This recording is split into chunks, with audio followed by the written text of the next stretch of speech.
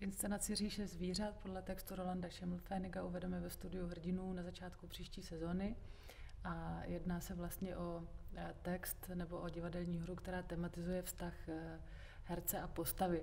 Herci, kteří hrají zvířata, se postupně eh, mají přijít o práci a charaktery postav, které hrají, to znamená divoké zvěře, se jim začínají promítat do osobních životů, chování, vztahů.